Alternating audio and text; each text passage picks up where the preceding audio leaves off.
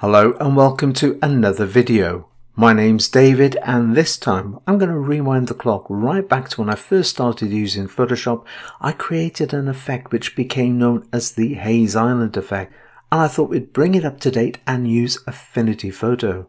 Right, let's make a start. First thing we need to do is duplicate the background layer twice. So first of all make sure it is highlighted. Now we can use Command J, Control J once and Command J, Control J again. There's our two copies. Always a good idea to rename them as we're working. So to the top layer, I'm going to double click over the word background. That's now highlighted it. Let's call it what it's about to become, which is a sketch FX. Right, coming down to the middle layer, double clicking on the word background once again, calling this what it's going to be, which is blurred. Okay, back to the sketch effect. We're going to go to filter. We're going to come to detect. We're going to go to detect edges, which gives us this effect. But we want to invert it. Now you could head up to layer, down to invert, but there's also a very simple shortcut. Press, hold down, command or control. Now press the letter I on the keyboard. There it is, we have inverted it. Just the effect we're after. Switching this off. Coming down to our blurred layer. Now to blur it, we're going to head up to layer. We're going to come down to new live filter layer to blur and across to Gaussian blur. Now with this, I'm just going to lift it up for the moment so we can see exactly what's going to happen. I'm going to take it up. You want that sort of, you know, when you really squint your eyes, that sort of effect there looks brilliant. What have we got? We got 8.1 pixels, but this is the sort of effect we're after. We're going to close this down. Next, we're going to add even more color to this layer. So make sure it's highlighted. Let's fold it up out of the way as well. So there's our blurred uh, filter. We're now going to go up to layer, this time down to new adjustment layer and coming across to hue, saturation and luminance. Now first of all, make sure you, that you've got the master one, that's this one selected, so that white circle is around it. We're going to take it up into this sort of region. Here looks pretty good, just backing it up slightly. Now this red is just a little bit bright for me, so I'm going to click on the reds, which has given us this selection. But if you come to the little nodules, the little grab handles on the end, I'm going to pull this in. I want to narrow down our selection. Talk about selection. You can always click on picker. If you bring it out, if you click down, notice the way that just jumped up very slightly. So I'm just going to bring this in as well. So we're out of the oranges and just perhaps narrowing that down slightly into this region here. Now we can just take the saturation down. As I'm starting to take it down, you can see we're working purely on that red there, which looks pretty good into this area here. Just noticed a little bit of the orange moving. So let's just take it here and dropping it down a little bit further. There looks really good. Right, clicking on the cross to accept it. Next, to bring through the Hayes Island effect, we're going to click on the sketch effect. Let's put a tick in the box so we can actually see it. Heading up to blend modes, bring your cursor down. Now it will depend on the tonal range of your image. So as you start to come through, there's the Hayes Island effect. That looks pretty good on multiply. Just coming through color burn. Yes, that looks good as well. Linear burn looks good. Let's go down a few more into this sort of region here. That looks really good as well. For the original Hayes Island, I used soft lights, but uh, coming up with this one, I've got a feeling there looks pretty. I'll tell you what, let's go for overlay, split the difference. That looks really good like that. If I use Command 1, Control 1, we can zoom into 100%. Pressing the spacebar gives me the hand tool so we can move around. And there it is. There is our Hayes Island effect. But there's a few more little bits and pieces I'd like to do with this. Let's head out using command 0 control 0 to go to fit on screen. Now for a start the canopy here and the chairs I think the color range is just a little bit too close. I'm also going to press H on the keyboard to give me back the hand tool. So let's click on the blurred layer. This is now our live layer and we're going to select the canopy. Now if you wanted to select a color to change, for example this jumper, the freehand lasso, that would be ideal for the canopy. I'm going to use the marquee tool. I'm going to click, going to drag it over the canopy like this, just into this sort of region. Here will do nicely. There. Right, stay still. Command 0, Control 0 to put it back. Okay, now with our selection, if we head up to Layer, if we come down to New Adjustment Layer, we're going to come across to HSL, Hue, Saturation and Luminance. Right, moving it across, you can see this little white slither. That's what we're working on with the Hue, Saturation, Luminance. I'm going to go for the picker again. Let's bring it out. I'm going to go for this area here with our cyan, and you can see the way it's spun around. You can always click on cyan as well. And if I just come to this slider here, as we start to move it, yeah, we can have a blue canopy. We can take it into this region here. I've got a feeling something like this just add to the image nicely, just bringing it back a little bit. Right, let's take the saturation down because I don't, want it to be sort of too overpowering. So I'm going to bring the saturation down into that area. Let's take the luminance shift up as well into this just to fade it a little bit like that. And let's close this down out of the way. Command D or Control D will remove the selection. If I just switch it off, you can see there it is with that uh, cyan color canopy. Switching it back on, that looks much better. Right, next, how about a bit of texture?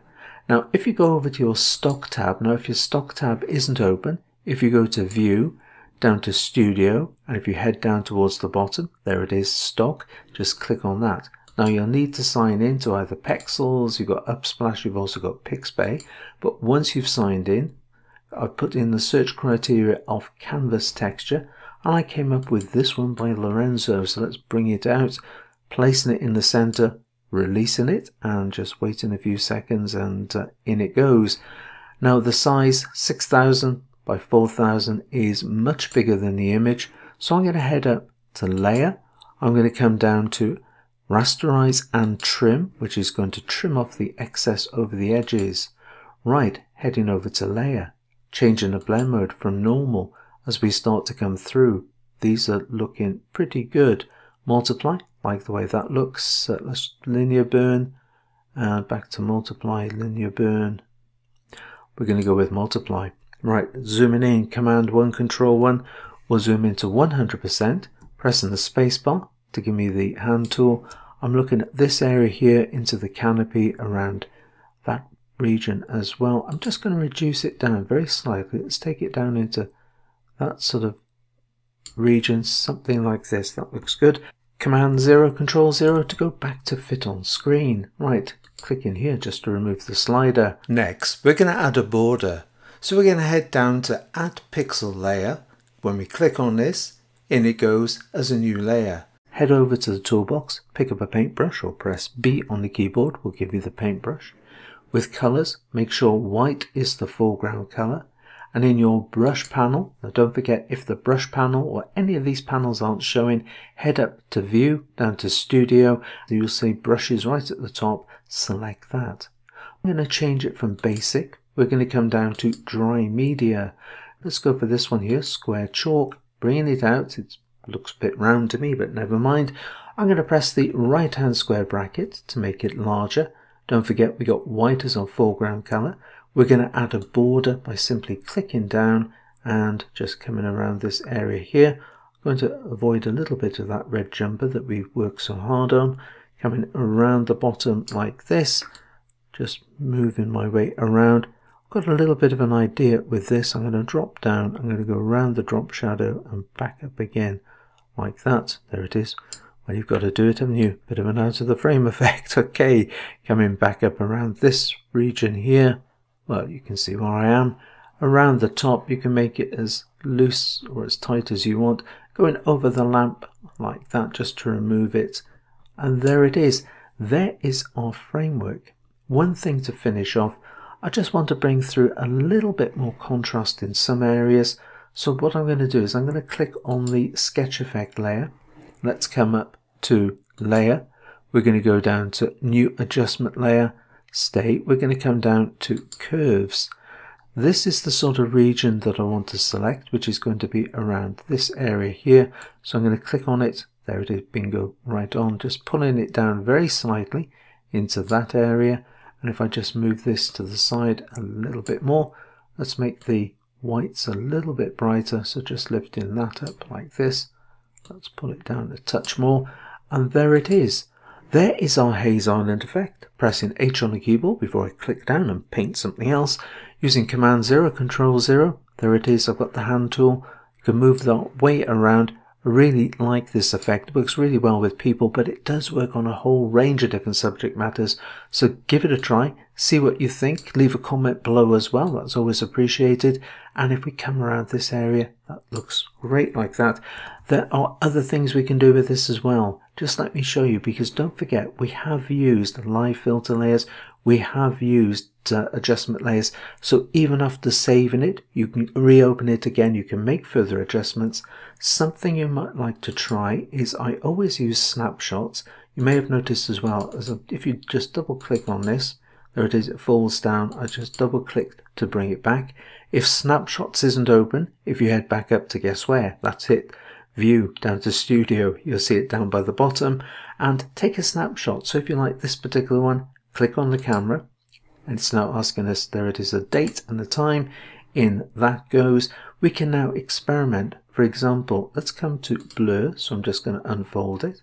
Here's our new live filter layer. We had uh, 8.1 that's the number we put in. Now if you take this higher you get a little bit of a watercolor effect. That could work for you. Let's come over to our HSL and if we come over to the master color we can take this up even further to bring through some colors. You can experiment, take it up, take it down, bring up whatever colors you want to, entirely up to you. But it's a great way. If we just close this for the moment, if I use Command 1, Control 1, gives a really nice sort of watercolor effect as well. You might even want to fade down the sketch layer a little bit with this. Everything is adjustable. Just experiment, have some fun with it. If you like this particular one, click on the snapshot click OK to that. And if we just go back to our original, which is this one here, let's click on restore and there it is. We're back to the Hayes Island effect. I love using snapshots. It's a great way of being able to experiment. But there it is. Go on, give it a try. I hope you've enjoyed the video. Give it the thumbs up if you have. Don't forget to subscribe, plenty more videos to come. And if you click that little bell icon, you'll get a notification every time a new video is posted. But until the next time, it is happy imaging and take care.